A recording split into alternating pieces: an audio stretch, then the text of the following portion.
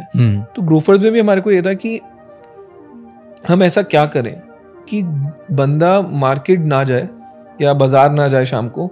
और इतना सुस्त हो जाए कि उसको लगे यार ठीक है ये दाल आटा चावल ही तो मंगाना है और इसमें मैं इसके लिए मैं मार्केट क्यों जा रहा हूँ? तो हम we wanted to solve that problem कि एक बोरिंग एक्टिविटी को करने के लिए आप बाहर मत जाओ।